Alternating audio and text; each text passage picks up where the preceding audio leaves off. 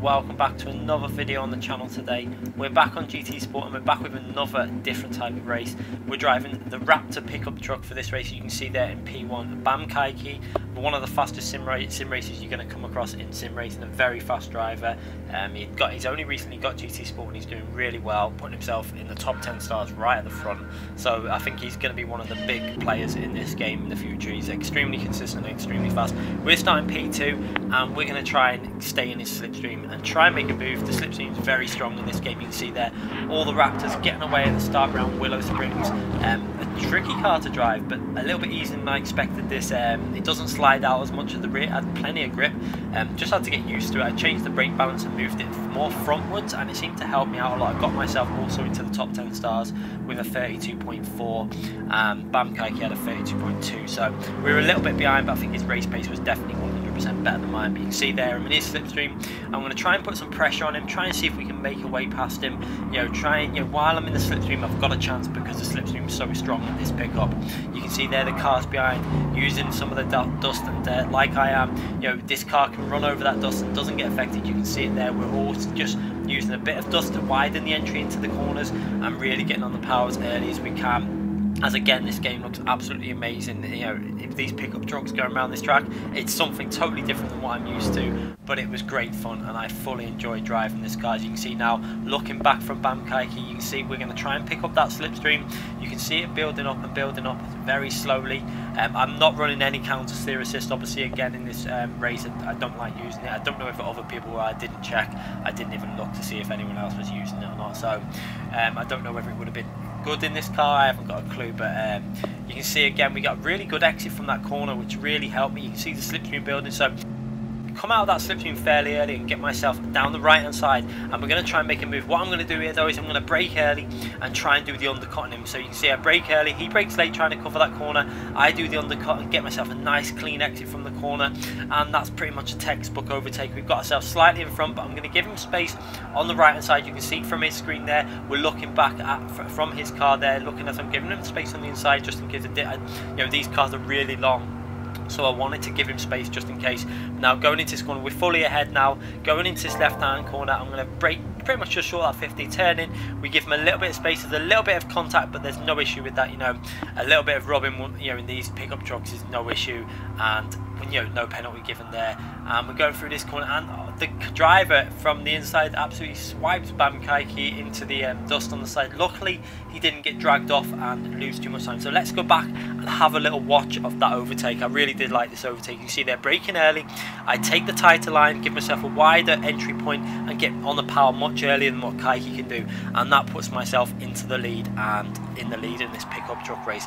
Early races in this, I was struggling with it. I had to go back on and just work and change the um, brake balance. Once I'd done that, I found that um, this car was much better with a front bias on the brake braking. Um, I was using rear bias, and that's what I thought would have worked, but it didn't. The front bias was much better on this track, as you can see there. He tries to make a comeback on the inside. I close the door a bit. There's a little bit of contact, but nothing massive. You know, these pickup trucks can take a bit of contact. But then watch the um, white pickup truck completely. He goes to that inside line and just gives him a little nudge. Mm, it's a little bit naughty, but you know, he kind of had the right to make a move there in a way, but I think it was a little bit naughty. And bam, Kaiki ends up all the way down there in P3 after the uh, another white pickup truck there goes off the track. And now we've got to try and maintain this lead because I know how fast um, Bam Kaiki is around there. He was definitely 100% faster than me on this track and car combination. Um, I had raced him in a previous race and he, had better speed. So what I had to do now was try and build up a gap while he's trying to fight that um, white pickup truck there in P2 and we, we're just trying to keep it smooth. I'm trying to keep consistency. I'm trying to keep it reasonably smooth. This this truck was really hard to drive. You know, it had understeer and you had to just be really like careful with the lines. If you can see the white pickup truck got on the dust on the exit that corner, that's going to give Bam Kaiki an opportunity to make a move now into turn one. He's going to go down the right hand side. You can see ourselves up ahead. Is he going to try and do something similar to what I did? He's actually a little bit further ahead, so he's going to try and hold it around the outside. He tries it around the outside. You can see there's a little nudge from the, the white pickup truck again, which is a little bit naughty, I think, but it's you know part of racing. I think in these pickup trucks, it just generally did tend to be a little bit um, dirtier, but I, I, can kind of understand it in these cars compared to your like, you know, your lighter cars. You know, these cars can take a bit of a knock and you can get away with it. But they're going side by side now into these corners, and you can see myself just up ahead trying to keep it cool trying to keep reasonable lines this is helping me out you know, it's given me the opportunity to build a little bit of a lead up and just get out that slipstream.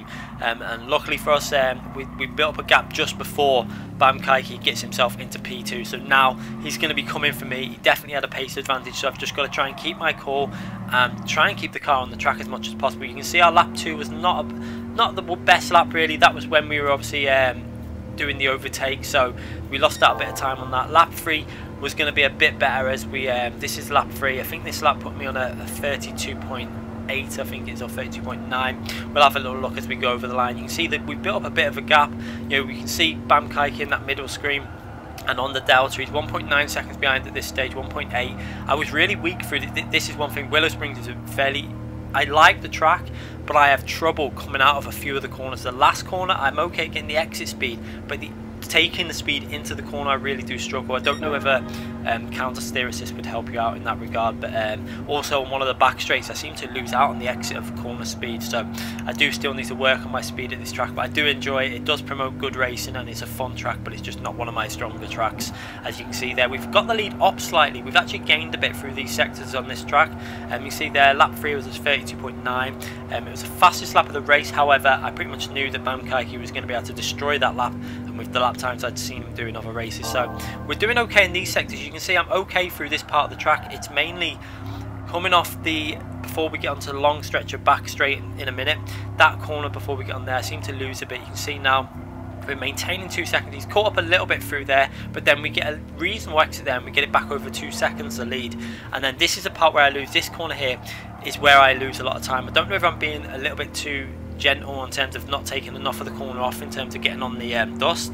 You can see Bam Kaiki already starting to gain big time now and that's without slipstream so you can see the difference it is. He seems to be able to get on the power a lot earlier than me coming through that corner and he's gaining, gaining, gaining down the straight now. So we're 1.8 seconds ahead and we're going into the final lap and um, I start, I must admit, this lap wasn't the best again. I think it was like a 31, 33.1 the lap I'm on now which is not a bad lap, but I should have really been in the 32s. In another race I did, I was doing um, 32 sixes and sevens and eights, but I think with the pressure of knowing that Bam Kaiki was behind me, um, I started just trying to be smooth. You know, I knew I had a 1.5, it's a 1.3 second lead now, as I didn't get that final corner done very well at all. You can see that's where we lost a lot of time on that lap um, with a 33.1. I think if we would have got that corner better, we would have probably been in um, a 32 6 or 7, but he totally messed that up. And now he's only 1.1 seconds behind, and he's gonna be in our slipstream very soon. So he's closing in on us every, you know, at such a rate that he's going to probably be on the back of my car before we get to the end of the lap because once he hits that slipstream and the fact that I was just trying to at this stage I was just trying to keep the car on the track and you know I felt like I had enough gap to be comfortably beating him. Um, with over a second and a half going over the line, I thought I'd be able to do it without much worry.